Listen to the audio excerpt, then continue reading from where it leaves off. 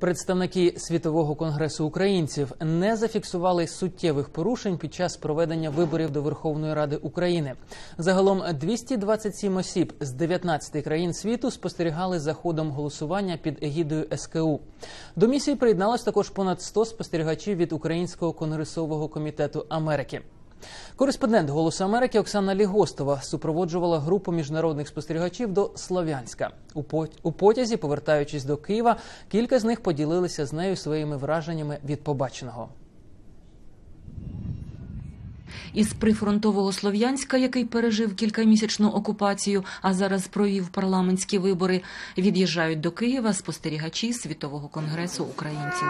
Усю ніч після голосування вони провели, спостерігаючи за підрахунком голосів у дільничних комісіях. Доводилось працювати у будівлях, зруйнованих снарядами, де немає опалення, а вікна затягнуті поліетиленовою плівкою.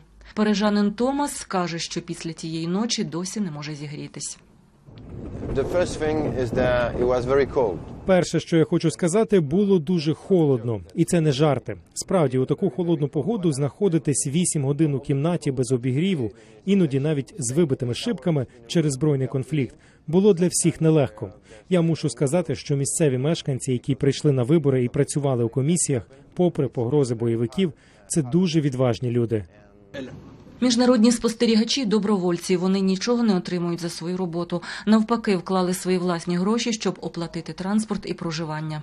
Навіщо їм це треба? Чому їм не байдуже, чесно пройдуть вибори в Україні чи ні? Адже це не їхня країна. Італієць Марко Ферраро пояснює. Uh, no, it's not my country, but it is my. Це не моя країна, але це моя Європа. І як європеєць я відчуваю обов'язок допомогти Україні. Україна це не є щось далеке. Ми частина одного цілого. Конгрес зібрав інтернаціональну команду. Тут не лише українці з діаспори, але також італійці, французи, росіяни. Ліда живе у Франції, але є громадянкою Росії. Народилася в Челябінську. Вона каже, що її приїзд на українські вибори це свого роду особиста компенсація за ті кривди, які завдає Україні Росія. Я слышу от многих своих знакомых, что им стыдно, что они русские. Мне не стыдно. Зараз я чую від багатьох своїх знайомих, що їм соромно, що вони росіяни. Мені не соромно, що я росіянка. Бо Росія це не тільки держава, це країна. Росія це не тільки Путін, але й Пушкін. Я хотіла б пишатися своєю країною і намагаюсь, як можу, відбілити її імідж після всієї тієї агресії і всього того, що зараз Росія робить з Україною.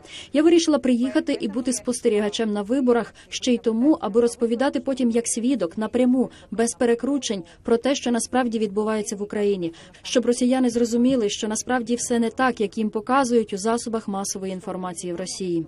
Лариса Зарічняк, лідер команди. Народилася в Польщі, жила у Канаді, а зараз назавжди перебирається в Україну. Um, Я дуже задоволена місією. Усе пройшло гладко. Ми були на сторожі, провели кілька інструктажів зі спостерігачами, щоб гарантувати їхню безпеку. Нині усе добре. Усі живі, здорові і повертаються до Києва. Слов'янськ це направду надзвичайне місто. І я дуже щаслива, що ми туди поїхали, і що ми можемо засвідчити, демократія в Україні вільна, чесна і відкрита. Оксана Лігостова для Голосу Америки з потягу Слов'янськ Київ.